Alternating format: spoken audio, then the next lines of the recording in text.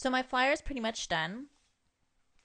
And you can see that what I've done here is I've changed the text uh, font and I've changed the color and you want to make sure that everything's legible.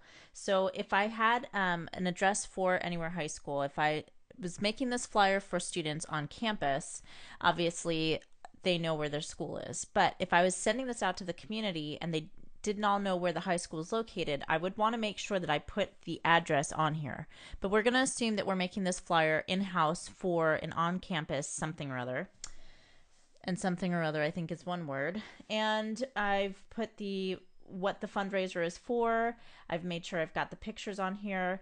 You've got the um, big part here, which is the bake sale, so people know what they're looking for, they know where they're going, they know what time, and they know why they're contributing to this. So save this work, and now you're ready to make your own flyer. So hopefully you followed along with this, you've saved this, and now you'll have um, a whole new flyer to create.